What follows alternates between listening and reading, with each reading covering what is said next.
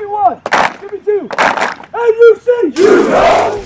This is Barry Every with the National Underclassmen Combine, and we're here in Indianapolis, Indiana, where we just finished day two of the Midwest Ultimate 100. And I'm with the strongest man for the line, Blake Hooper from Taylorville High School in Illinois. This gentleman benched 185 pounds 43 times.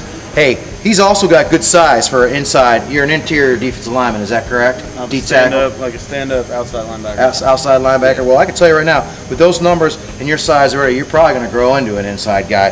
But a 5.040 is excellent for 248 pounds for a defensive lineman. That's amazing. And a 4.73 shuttle. And I watched you out there. You came off the ball hard. Some of those guys, they didn't know what hit them. I think. You know. Man.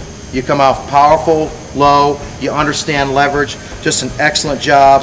And uh, who does Taylorville circle on their schedule every year? Well, this year we're gonna we're gonna be really good, and uh, we're gonna circle Sacred Heart Griffin this year. Whoa! Really- And we had some Sacred Heart Griffin guys here yeah, today. I huh? And uh, we're gonna have a shot at beating them this year. I think. I know. Where's that game played at?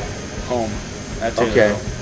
Well, that hopefully that'll help with the, uh, the the crowd being behind you. Oh, yeah. Hey, what did you enjoy about the Midwest Ultimate 100? It was just great competition all day, and um, I really enjoyed just showing my skills to everyone. Hey, what do you think you need to work on to grab the attention of college coaches? I know if they were out there today, you know, there's a lot of colleges in Illinois that'd be looking at you and go, man, this guy comes off the ball like his hair is on fire. That's a good term, by the way.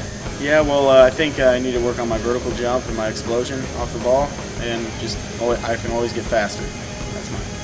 Hey, well, congratulations. It was fun watching you out there. Hope to see you at the top prospect camp in Oklahoma. All right. Thank you.